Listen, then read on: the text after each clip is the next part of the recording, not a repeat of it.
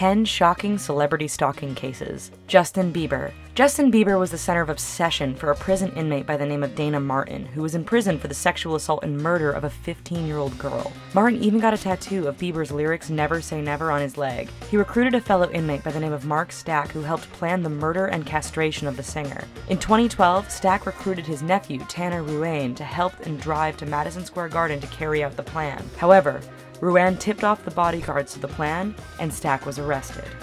Brad Pitt. Brad Pitt was at the pinnacle of his career in February of 1999. At this time, a woman by the name of Athena M. Rolando was found in his mansion wearing his clothes while carrying a book on witchcraft, love letters, and a voodoo doll full of needles.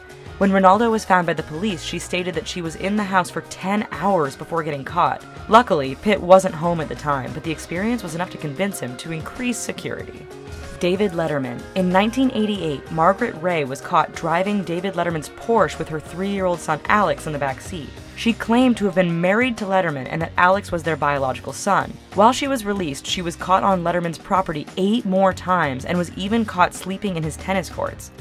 Ray died in 1998 after committing suicide by kneeling in front of an oncoming train. Letterman expressed his sympathies for Ray's family. Rebecca Schaeffer.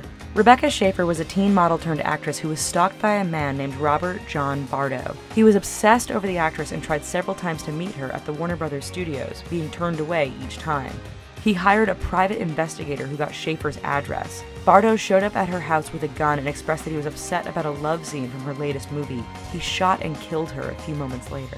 Selena Gomez. Even as young as she is, Selena Gomez has had her share of stalkers. In 2011, one of them was 46 year old Thomas Brodnicki, who traveled to California claiming that he and Gomez were meant to be together. He started showing up at the Disney studios. Gomez pressed stalking charges, which were later dismissed. But Gomez got a restraining order. However, Brodnicki began emailing Gomez again in 2014. Conan O'Brien. A priest from Bay State by the name of Father David Ajamian was obsessed with Conan O'Brien and followed the show host all over the world from California to Italy. Why? Father David had a message for O'Brien that only he would understand. O'Brien revealed real fear when it came to Father David, who even lived in the same building as him for a time. Father David was eventually arrested and charged with stalking in the fourth degree and two counts of aggravated harassment. Jodie Foster. At the age of 14, Jodie Foster had her breakout role playing a child prostitute in the movie Taxi Driver. From that moment on, she gained a stalker by the name of John Hinckley Jr., who obsessed over her. He even attended Yale, the same school she studied, and sent her love letters and even called her on the phone. Hinckley decided to try to assassinate President Ronald Reagan in 1981 as a gesture of love and was convinced that Foster would love him back if the deed was done. Hinckley was tried and found not guilty due to insanity. He was sentenced to serve time in a DC hospital.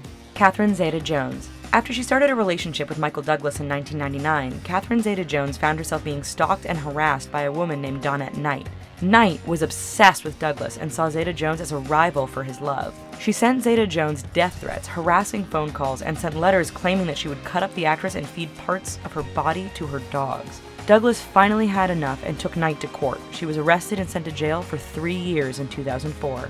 Uma Thurman. Jack Jordan stalked actress Uma Thurman from 2005 to 2007, likely as the result from schizophrenia and bipolar disorder. He contacted Thurman with love notes, letters about her children, and even showed up at her Greenwich home. He was arrested in 2008 and again in 2010 when he violated his probation and attempted to contact her at her office. Madonna. Madonna has fans around the world, including a man named Robert Hoskins, who took to stalking Madonna in 1996. He threatened to slit her throat from ear to ear and was caught numerous times trying to climb the walls into her home. During his last break in attempt, Hoskins threatened to kill Madonna unless she married him. After he was finally caught and shot by one of the singer's bodyguards, he served 10 years in prison and was then transferred to a psychiatric hospital, meaning Madonna still lives in fear of this man. Sandra Bullock. Sandra Bullock had a run in with her stalker Joshua Corbett this past year. Corbett gained entry into Bullock's home and ran into her as she was getting out of the shower and heading into her bedroom. Bullock ran to her room, locked the door, and dialed 911. Corbett was carrying a notebook filled with cutouts of the actress screaming, Sandy, I'm sorry, please don't press charges. Bullock was not harmed. John Lennon.